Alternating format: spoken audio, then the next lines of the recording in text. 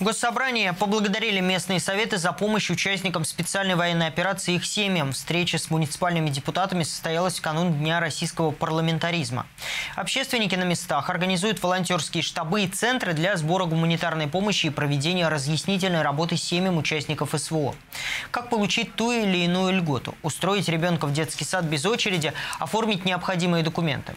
Кроме того, в ряде муниципалитетов, где по решению главы республики созданы специальные центры поддержки, оказывают психологическую помощь отслужившим и тем, кто ждет своих родных с фронта.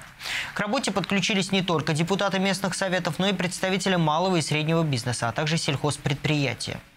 У нас э, в районе э, создан волонтерский штаб. Э, ребята обратились, вот, ну, искали автомобиль УАЗик.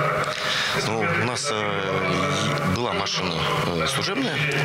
С коллективом пообщались и совместно решили, что передадим этот УАЗ.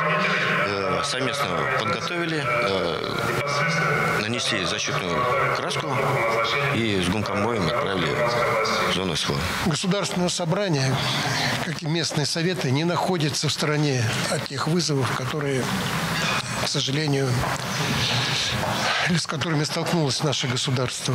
На сегодняшний день на передний план повестки вышли вопрос как раз реализации задач специальной военной операции.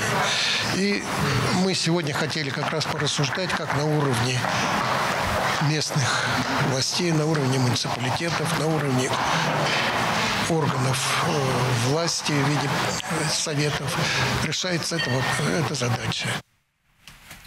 Напомню, что с начала специальной военной операции на линии соприкосновения в Донецкой и Луганской народных республиках, а также в Херсонской и Запорожской областях побывали десятки народных избранников от различных партий и предпринимателей.